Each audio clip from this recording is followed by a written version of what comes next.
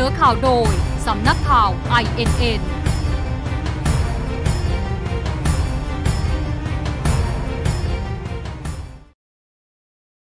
15 นาฬิกามาติดตามข่าวกับดิฉัน ปรางคณิตบุญเผยจากสำนักข่าว INN ค่ะ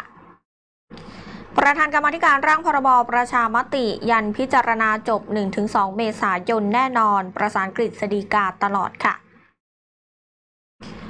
นายสุรชัยเลี้ยงบุญเลิศชัย สมาชิกวุฒิสภาในฐานะประธานคณะกรรมการพิจารณาร่างพระราชบัญญัติพรบว่าด้วยการออกเสียงประชามติพศเปิดเผยว่า จากกรณีที่นายพลเดชปิ่นประทีปสว ในฐานะกรรมการวิสามันพิจารณาร่างพรบว่าด้วยการออกเสียงประชามติระบุว่า การพิจารณาของสำนักงานคณะกรรมการกฤษฎีกา ในการปรับแก้ไขเสร็จไม่ทันนั้น เป็นข่าวที่คลาดเคลื่อนค่ะ เนื่องจากที่ผ่านมาตนได้ประสานงานกับทางสำนักงานกฤษฎีกา ตั้งแต่ที่ประชุมร่วมกันของรัฐสภา ให้เลื่อนการพิจารณาเมื่อวันที่ 18 มีนาคมมาโดยตลอด ซึ่งทางกฤษฎีกาก็ยืนยันว่าจะพิจารณาเสร็จภายในหนึ่งสัปดาห์ ซึ่งในวันนี้ครบพอดีและพร้อมที่จะส่งร่างให้ตนในวันที่ 29 มีนาคม ดังนั้นที่มีข่าวว่ากฤษฎีกาทำไม่ทัน และไม่สามารถประชุมร่วมกันของรัฐสภาในวันที่ 7-8 เมษายนนั้น ไม่ได้เป็นข่าวที่คาดเคลื่อนค่ะ ดังนั้นกรรมธิการขอยืนยันว่าจะประชุมเพื่อพิจารณาร่างพรบประชามติที่ผ่านการทบทวนของกฤษฎีกาให้เสร็จเรียบร้อยแล้ว ในวันที่ 1-2 เมษายนนี้แน่นอน และจะรีบส่งรายงานให้ประธานรัฐสภาเพราะฉะนั้นหากมีพระราชกฤษฎีกา โปรดเกล้าโปรดกระหม่อม ให้เปิดประชุมวิสามันครั้งที่ 2 ในวันที่ 7-8 เมษายน ยืนยันว่ากรรมธิการมีความพร้อม อย่างไรก็ตามในวันที่ 29 มีนาคมกรรมธิการจะพิจะจะมีการประชุมกับกฤษฎีกานอกรอบก่อนเวลาในช่วงเวลา 13 นาฬิกาด้วยค่ะ กระทรวงยุติธรรมแจงผลสอบปมจดหมายอานนท์พบเป็นด้านหลังของใบคำฟ้อง คาดเกิดขึ้นระหว่างเจ้าตัวอยู่ที่ศาลค่ะ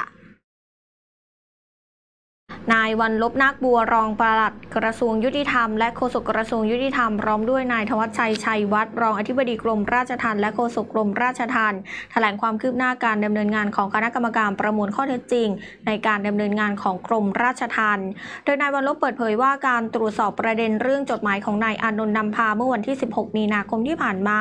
ที่โพสต์ผ่าน Facebook ส่วนตัว เกี่ยวกับการปฏิบัติงานของเจ้าหน้าที่กรมราชทัณฑ์พบว่าช่วงเวลาไทม์ไลน์มีความสอดคล้องกันแต่มีการอธิบายความที่แตกต่างกัน โดยเจ้าหน้าที่ปฏิบัติตามขั้นตอนการตรวจเชื้อโควิด -19 ภายในเรือนจำแต่ผู้ต้องขังปฏิเสธการตรวจทำให้ต้องแยกขังตามมาตรการค่ะ และพบว่าเข้าไปตรวจสอบรวม 4 ครั้ง มีการเพิ่มกำลังเจ้าหน้าที่ตั้งแต่เข้าไปขอตรวจในครั้งที่ 2 และพบกระบองหรือนกหวีดตามขั้นตอนของกรมราชทัณฑ์ในการควบคุมดูแล และย้ายผู้ต้องขังค่ะ ทั้งนี้จากการสืบสวนของคณะกรรมการพบว่าจดหมายของนายอานนท์คือด้านหลังของเอกสารคำร้องขอไต่สวน ซึ่งผู้ต้องขังจะมีติดตัวอยู่ หรืออาจได้รับจากทนายที่ศาลไม่ได้เป็นหนังสือหรือกระดาษของเรือนจำคาดว่าจะขอมาตอนขึ้นศาลก่อนเขียนส่งให้บุคคลอื่นไปโพสต์ ยืนยันว่าภายในเรือนจำไม่มีกระดาษลักษณะนี้ค่ะ ปิดท้ายกันที่กระทรวงการคลังนะคะเผยโครงการคนละครึ่ง ประชาชนใช้เงินครบ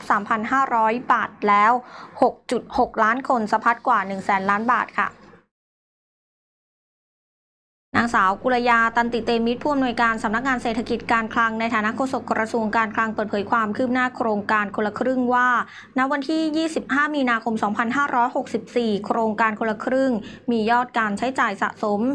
142 ล้านบาท โดยมีผู้ใช้สิทธิ์จำนวน 14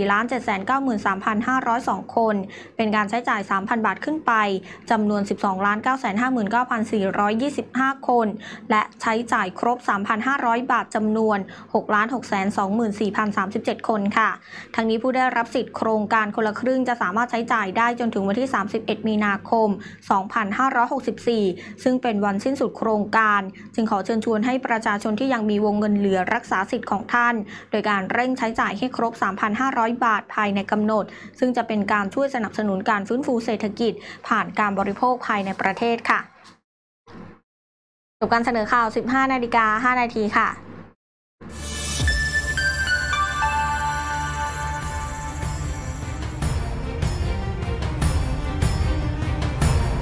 นอข่าวโดย สำนักข่าว INN